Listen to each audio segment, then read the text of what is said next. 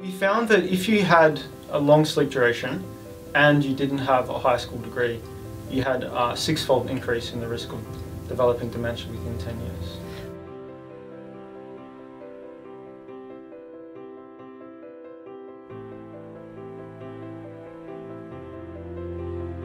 So we observed that persons who slept for more than nine hours each night had double the risk of developing dementia within 10 years as compared to persons who slept for nine hours or less each night.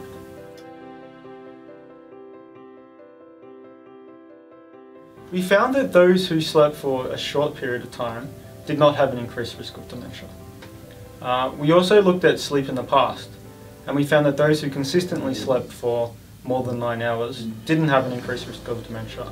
But those who transitioned from being normal sleepers to long sleepers were the ones that displayed an increased risk of developing dementia within 10 years. So as you develop dementia, the brain changes, and there are changes to the brain that occur before we diagnose dementia, and it appears that sleep might be affected early on in the process.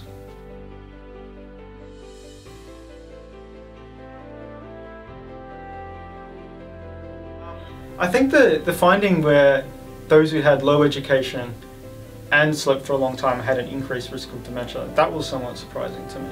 I didn't expect to see that because it was a very large effect. It was a sort of 600% increase in the risk of dementia. People who are highly educated seem to be able to compensate for early dementia because they have more sort of thinking and skills and uh, better memory performance uh, as compared to those who don't have high education. Uh, if you think about you know, having a high education, you uh, come up with a lot of skills to deal with uh, different life stresses and events and you become better adapted to uh, dealing with the environment.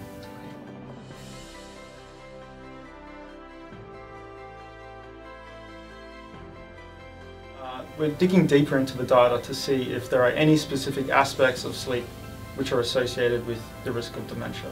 So for example, looking at uh, changes in REM sleep or slow wave sleep, so the specific aspects of sleep and how they relate to dementia.